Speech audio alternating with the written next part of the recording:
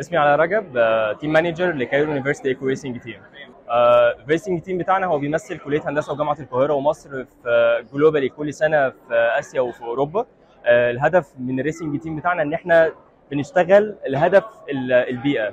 آه، بنعمل تأثير إيجابي آه، للبيئة عن طريق إن إحنا نستخدم ال skills الموجودة عندنا في ال team من engineering skills من كلية هندسة skills مثلا من حتى من من كليات تانية زي كلية تجارة كلية سياسة واقتصاد لأن إحنا من كل كليات الجامعة لأن إحنا يعتبر زي structure آه بنصنع العربية وفي نفس الوقت إحنا عندنا بنعمل branding لنفسنا marketing لنفسنا بندخل برضه sponsors معانا.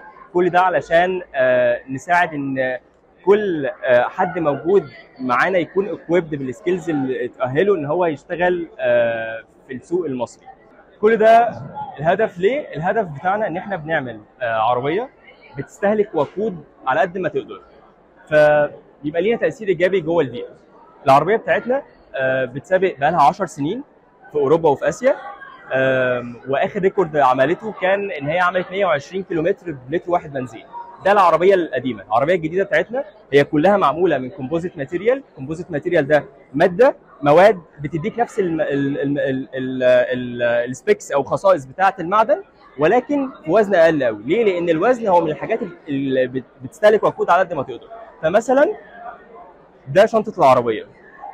خفيفة جدا فده الوزن من الحاجات اللي بتستهلك وقود على قد ما بيقدر ال target بتاعنا السنة دي آه، إحنا ال team الوحيد اللي هيشارك السنة دي من جامعة القاهرة ومن مصر اللي هيمثل مصر السنة دي في أوروبا في فرنسا علشان يشارك بالعربية ديت.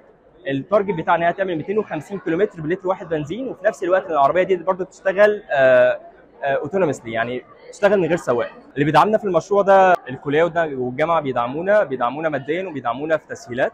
آه، لأن إحنا بنحتاج ماديا زي حاجات زي شحن العربية آه، آه، من هنا علشان تقدر إن هي ت represent الكلية والجامعة بره. في نفس الوقت ماديا إن هو تكاليف تصنيع تكاليف material تكاليف أجزاء نقدر إن إحنا نستخدمها في العربية.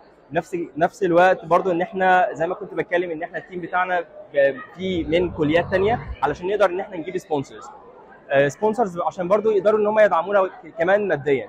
فإحنا بنخلي إن يكون في زي آه، مشاركة مجتمعية من entities تانية جوه آه، المجتمع فإن هم يقدروا إن هم يساهموا في الهدف بتاعنا. الهدف بتاعنا اللي هو نعمل تأثير إيجابي على البيئة. ون ون ون share ال awareness عن موضوع إن كل واحد في المجتمع فعلا عنده skills يقدر إن هو يستخدمها ويفيد المجتمع ويفيد البيئة ويفيد الشباب.